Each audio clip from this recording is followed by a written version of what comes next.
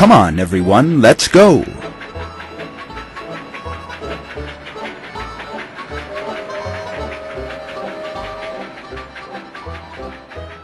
Where? To the world of plants. Come on.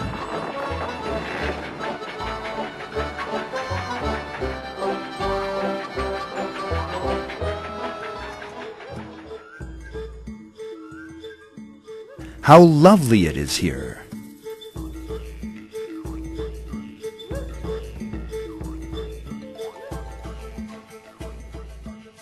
There must be millions of plants here. Brightly colored, spotlessly clean flowers.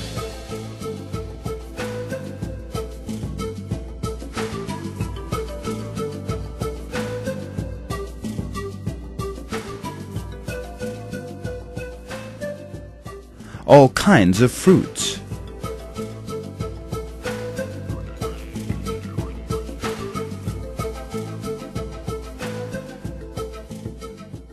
Vegetables.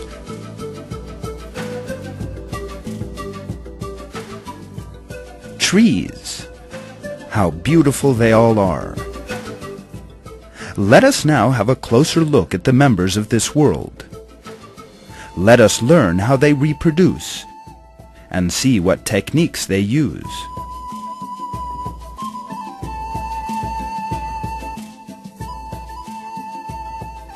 You all know that even giant trees grow from a tiny little seed. But do you know where these tiny seeds come from?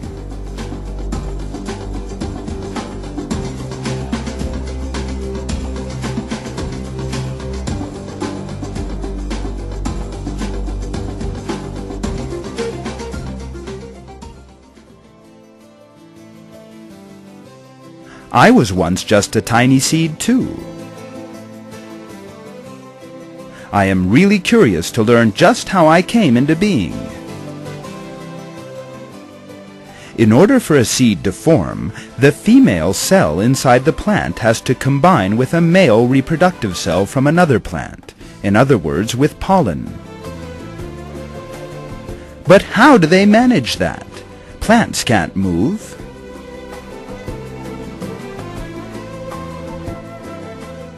You are right, plants cannot move, but God has created various ways by which pollen from one plant can reach another.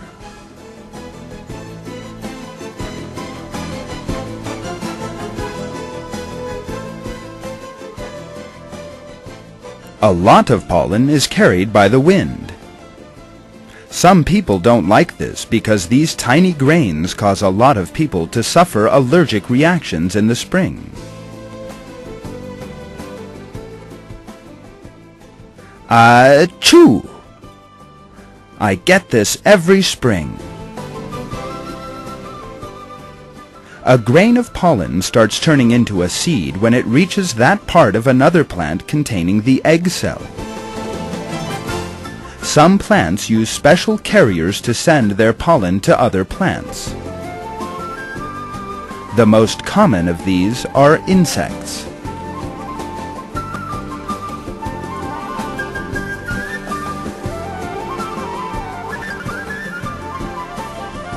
Flowers produce food that insects like and attract them with their bright colors and perfumes. That means they are able to pass on their pollens to them. They then carry those pollens to other plants.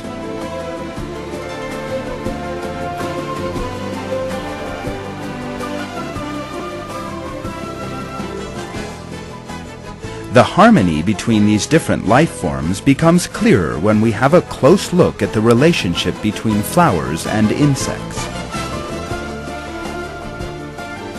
Here is one example. This flower, which grows in southern Africa, is known as the iris. It is very difficult for carrier insects to reach the food and pollens made by this attractive flower. But look, there is a long tube under its leaves. The food and pollens are all at the bottom of this tube.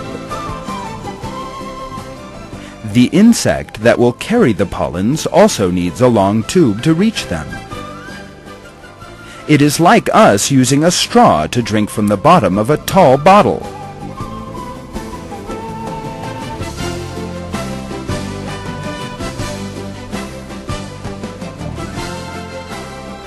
And here is an insect that can reach this plant's pollen, a hoverfly. Thanks to its long tube, or proboscis, it can reach right into the depths of the flower. And it can hover in the air like a helicopter.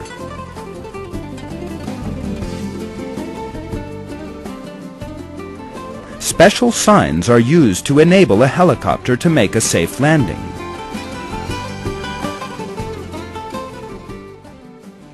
Do you wonder if the hoverfly has anything similar?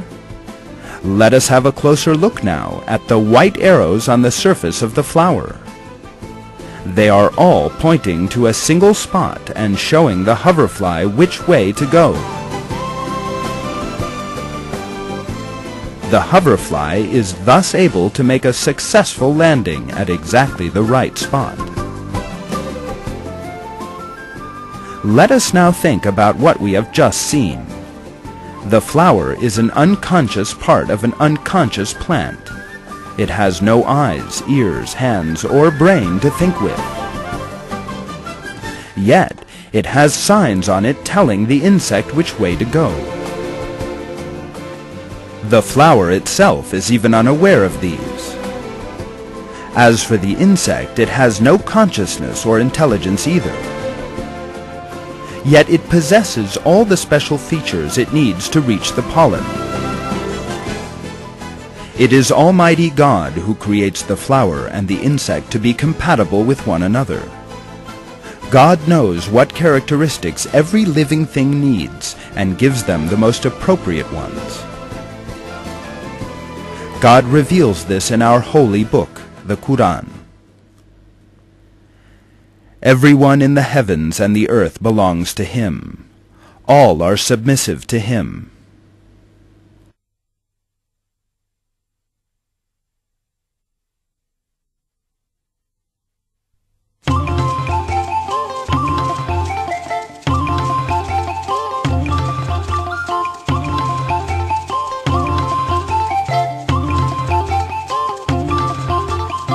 Flowers that give off perfumes.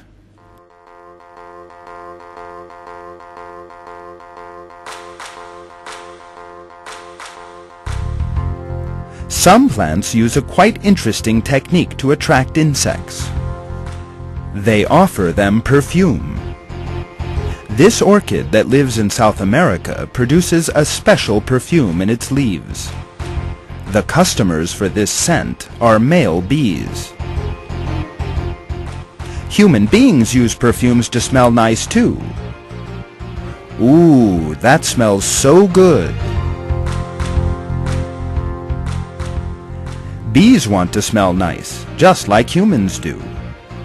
When a bee arrives to take perfume from the orchid, the flower also gives the visitor its pollens. How? Let's have a look and see.